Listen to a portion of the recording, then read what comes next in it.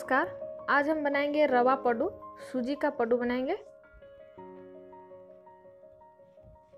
इसको आप चटनी के साथ सर्व कर सकते हैं। मैं दिखा रही हूँ आपको, देखिए कैसे, कितना सॉफ्ट बना है और अंदर से भी बहुत अच्छा पक गया है। इसके लिए हमें सामान चाहिए सूजी रवा 200 ग्राम, दही एक बाउल, धनिया पत्ता, हरी मिर्च दो, प्याज एक, नमक स्वाद अनुसार बेकिंग सोडा एक टीस्पून और गाजर एक। तो चलिए देखते हैं इसको बनाने का तरीका। एक बाउल में मैंने ले लिया है। सूजी, ये सूजी जो है आपको भुना हुआ नहीं, कच्चा सूजी लेना है। सूजी को भुनना नहीं है आपको।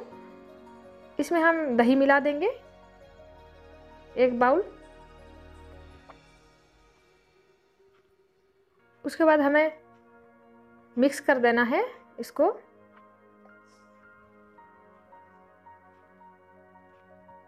अभी हम थोड़ा थोड़ा करके पानी डालते हुए इसको एक बैटर जैसा बना लेंगे।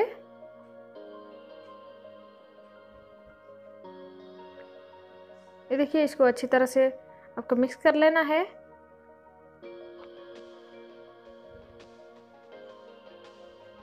अगर थोड़ा गाढ़ा हो गया है तो और थोड़ा पानी डाल दीजिए, क्योंकि इसमें जो रवा है, पानी ऑब्ज़र्व करेगा, इसीलिए। ये देखिए, ऐसे कंसिस्टेंसी में थोड़ा मोटा मोटा रहना चाहिए। ऐसे ही कंसिस्टेंसी में आपको बैटर बनाना है। जैसे आप इडली बनाते हैं, उसी टाइप का बनाना है। अगर ज़्यादा गाढ़ा लग रहा है तो थोड़ा पानी मिला लीजिए।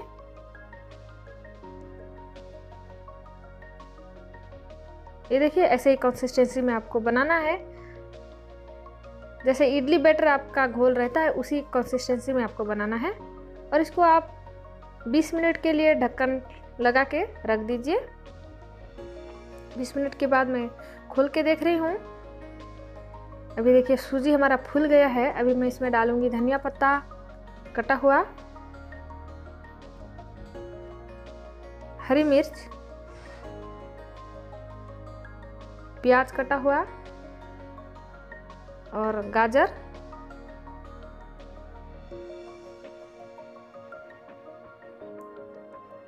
इन सारी चीज़ों को हम मिला लेंगे।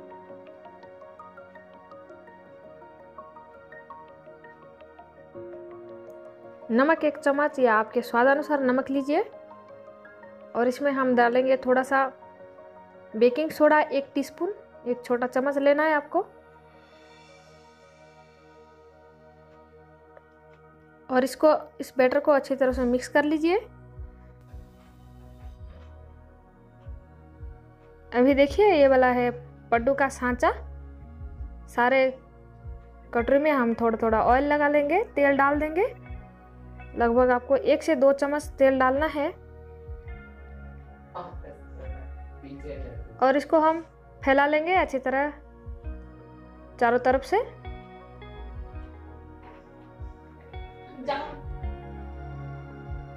हम इसमें भर देंगे, हमारा जो बैटर था।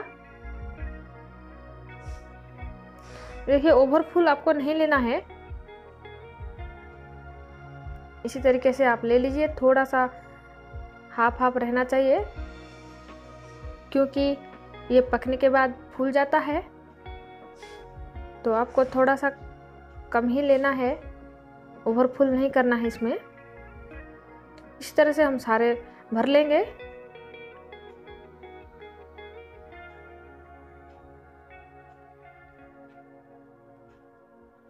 देखिए, भरने के बाद आपको थोड़ा सा टैप करना है ताकि ये सेट हो जाए। अभी मैंने गैस के ऊपर रख दिया है और ढक्कन लगा दूँगी। इस समय आप थोड़ा सा मीडियम आँच रखें गैस को। और लगभग दो से तीन मिनट के बाद हम देखेंगे खोल के कि ये नीचे की तरफ़ से पक गया है और इसको हम अच्छी तरह से एक चम्मच की सहायता से इसको हम पलट लेंगे।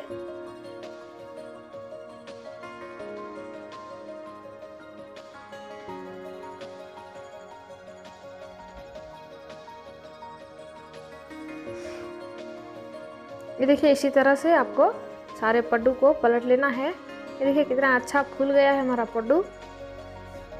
बिल्कुल हमारा जैसा उड़द की दाल और चावल का बनता है, उसी तरीके से ये भी बनता है।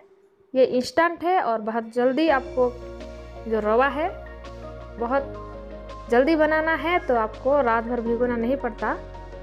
फिर से हम पलट के ढक्कन लगा देंगे दो से तीन मिनट के लिए। वे अभी दो तीन मिनट हो चुका है, मैं खोल के देख रही हूँ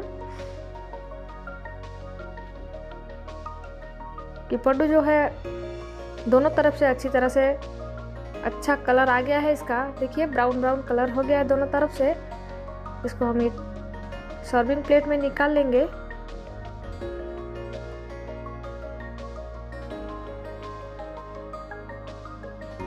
अभी आपका जो पड्डू है खाने के लिए रेडी है, आप किसी भी चटनी के साथ या फिर सॉस के साथ, नारियल के चटनी के साथ सर्व कर सकते हैं। देखिए कितना अच्छा अंदर से पक गया है। एक बार ज़रूर बनाइए, ये वाला हेल्दी रवा इंस्टेंट पड्डू। और अगर आपको वीडियो पसंद आया तो सब्सक्राइब कर दीजिए और बेल आइकन दबा दीजिए। एक लाइक ज़रूर कर दीजिए और शेयर करना बिल्कुल मत भूलिए। Thank you